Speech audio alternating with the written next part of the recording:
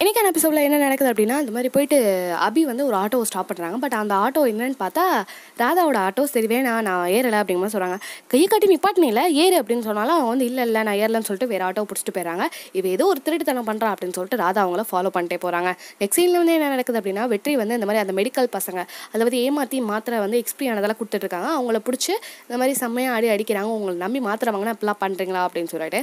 Next சீனில் வந்து என்ன நடக்குது அப்படின்னா இந்த மாதிரி அபி வந்து பூங்காவோட வீட்டுக்கு வீட்டுக்குள்ளே வராங்க. இது எல்லாத்தையும் ராதா பார்த்துட்டு இவன் இங்கே வராது என்னமோ தப்பாக இருக்கே அப்படின்னு சொல்லிட்டு அவங்க யோசிச்சிருக்காங்க.